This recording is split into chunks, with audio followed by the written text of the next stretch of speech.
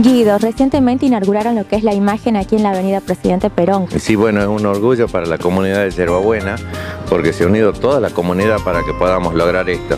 Esto no es solo obra de un determinado grupo, sino de toda la comunidad, porque todos colaboraron. Hubo empresas que colaboraron con la base, hubo una familia que donó la imagen. En realidad la imagen la íbamos a comprar y la íbamos a encargar, eh, que se haga una escultura de Nuestra Señora en la Medalla Milagrosa pero providencialmente, como siempre sucede con las obras de la Virgen María, apareció una señora que la tenía la imagen en su casa y ofreció donarla para que pertenezca a toda la comunidad.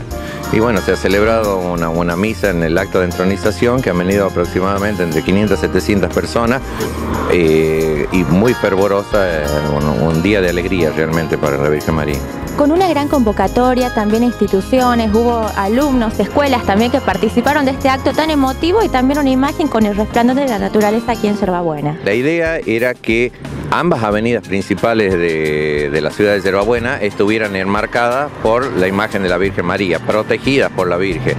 Tal que tenemos en la avenida Conquija, tenemos la imagen de Nuestra Señora María Auxiliadora y ahora tenemos en la Presidente Perón eh, la imagen de Nuestra Señora Medalla Milagrosa. Hemos contado con un especial apoyo de la Municipalidad de Yerbabuena también, que en un primer eh, momento nos dio el permiso con respecto a, la zona de tránsito y luego como esto es una arteria que depende de vialidad provincial, bueno, de ahí tuvimos el permiso definitivo para la instalación. Y en cuanto a la elección de la imagen, ¿cómo surgió esa idea? La Señora de la Medalla Milagrosa es una imagen muy especial, ¿no es verdad? Representa el rostro de, la imagen eh, Reina de la Paz que se aparece en Medjugorje, que es la imagen de Nuestra Señora Medalla Milagrosa que se aparece en Bosnia. Y realmente para nosotros eh, esta imagen y este rostro representa de la manera más fiel el rostro de la imagen de la Virgen María por la sensación de pureza, por la belleza, por la humildad, por los ojos de bondad. Entonces nos gustaba mucho eh, esta imagen y bueno, se dio naturalmente, producto de una donación. Y en cuanto al tallado, a esta cruz que podemos ver atrás de la imagen de la Virgen. En nuestra religión católica apostólica romana es una religión cristocentrista. Todo se centra alrededor de nuestro Señor Jesucristo. Entonces, la irrupción de María en la historia de la humanidad viene a ser la culminación de la relación hombre con Dios.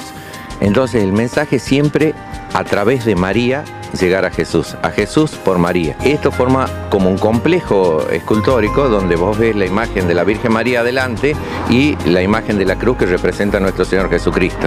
Y el lema es a Jesús por María, justamente. ¿Cómo es el trabajo que ustedes realizan a lo largo bueno, de estos tiempos, de estos años y también peregrinando y también concientizando a la gente de la fe, que es la importancia que hoy en día eh, se está perdiendo, ¿no? Nosotros pertenecemos a un grupo que se llama Grupo Formador para la Consagración al Inmaculado Corazón de María. Recientemente ha tenido la aprobación estatutaria por el, eh, el arzobispo de Tucumán y desarrollamos charlas de formación y de concientización destinadas a que las personas, los laicos comunes, nos podamos consagrar al Sagrado Corazón de Jesús a través del Inmaculado Corazón de María. Y los testimonios son maravillosos porque se han dado esta charla a más de 4.000 personas en el ámbito de Tucumán y los testimonios son absolutamente coincidentes. Una mejora en su calidad de vida, una sensación de paz, eh, la protección especial de María en todos sus actos que constituye, digamos, esta consagración en algo muy especial. ¿Aproximadamente cuántas personas conforman el grupo? Y en el grupo somos actualmente 10 personas. Por ahí algunas, eh, por, razones laborales, no pueden dictar los cursos algunos años, después se reintegran y demás, pero entre 10 y 12 personas somos los que estamos especializados en dictar los cursos de formación. ¿Y cuáles son los proyectos próximos que tienen? Nosotros tenemos varias consagraciones. En este momento hay charla de consagración en la Capilla San Antonio de Padua a las 3 de la tarde, se están dictando todos los días martes, los días martes también a las 7 y media de la, de la tarde en la Capilla Nuestro Señor del Rosario y próximamente eh, está prevista una consagración en la Iglesia Santísimo Sacramento y en la Iglesia Cristo Rey. ¿Cómo hacen las personas para informarse, interiorizarse de las actividades que ustedes realizan? ¿A través de qué medios?